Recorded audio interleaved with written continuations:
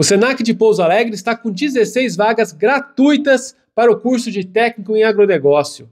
As vagas estão disponíveis pelo programa Senac de gratuidade, destinado a pessoas com renda familiar mensal per capita inferior a dois salários mínimos. O curso técnico em agronegócio é um curso novo, né, que vem para atender a crescente demanda de mercado. O aluno irá atuar na área da gestão para atender as empresas nas partes mais estratégicas dentro do setor. O SENAC também possui outros cursos gratuitos. Nós ainda temos cerca de 27 vagas nas áreas de técnica em segurança do trabalho, técnico em marketing, especialização em enfermagem do trabalho, técnico em informática e técnico em desenvolvimento de sistemas. As aulas começam no dia 13 de agosto. Os interessados podem procurar o SENAC na Avenida Vicente Simões, 370, Centro de Pouso Alegre, ou pelo telefone 35 2103 2450.